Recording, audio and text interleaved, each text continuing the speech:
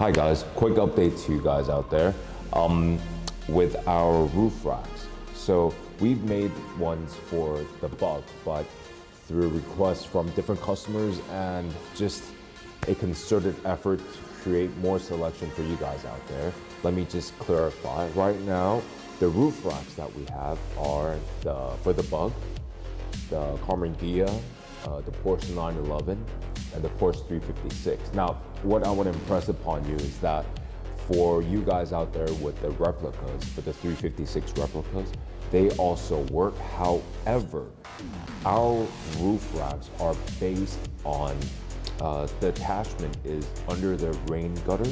So if your replica has the rain gutter running on the side, which I'll point out later, then there should be no roof racks for uh, the ones made by Vintage Speed hook onto the rain gutter. Now let me show you, zoom in over here. We'll actually go into here. So you don't have to bolt anything on. There's no drilling required onto your vehicle. So for those of you that kind of like that without having to, you know, puncture not wounds, but holes into your vehicle, that's not necessary for our roof racks. Now, again, uh, I covered that we make them for the Karmann Ghia, the Bug, the Porsche 911, the 356, Porsche 356, and the replicas. Now, I'm gonna bring you over to one of the 911s in our garage right now. 911, I'm trying to show you that it's the same thing, right? You have the rain gutter over here, and then it attaches, the hooks attach under uh, the rain gutter.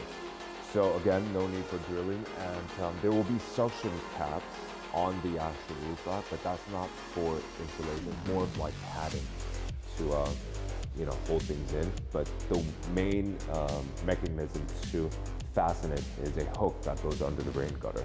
So for the Beetle, the Karmann Ghia 911, and the 356, including the Porsche 356 replica cars.